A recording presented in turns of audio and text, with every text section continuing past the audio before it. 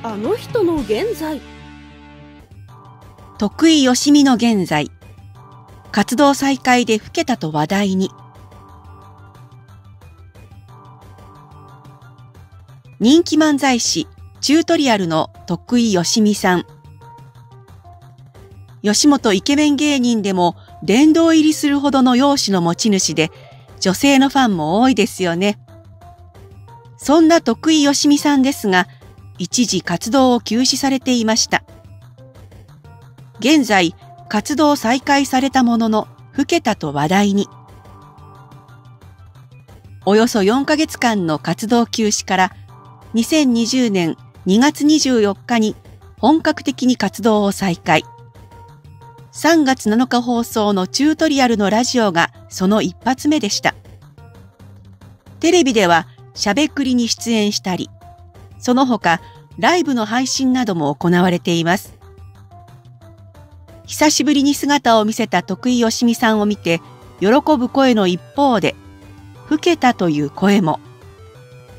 10歳は老けた。せっかくのイケメンが台無し。誰だかわからなかった。など、ツイッターでも多くの声が上がりました。確かに白髪が目立っているようですし、以前のような華やかさはなくなっている気がしますね。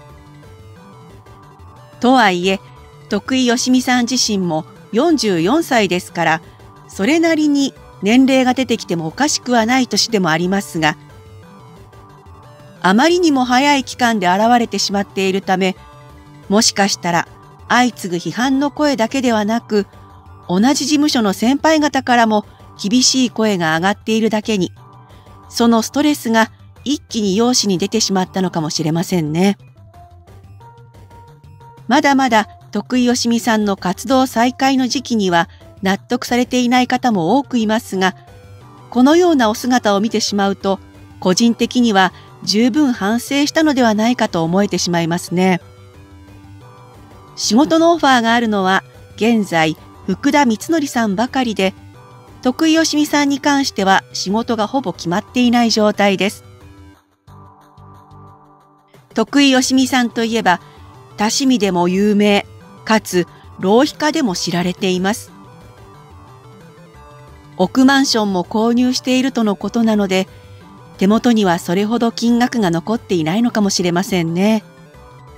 ですから、早すぎると言われても復帰せずにはいられなかったのかもしれません。